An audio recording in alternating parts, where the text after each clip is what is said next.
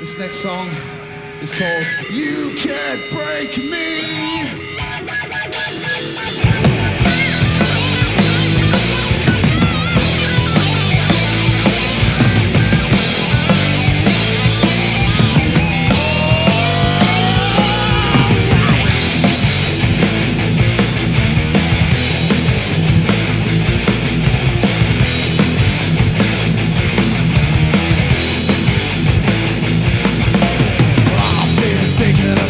about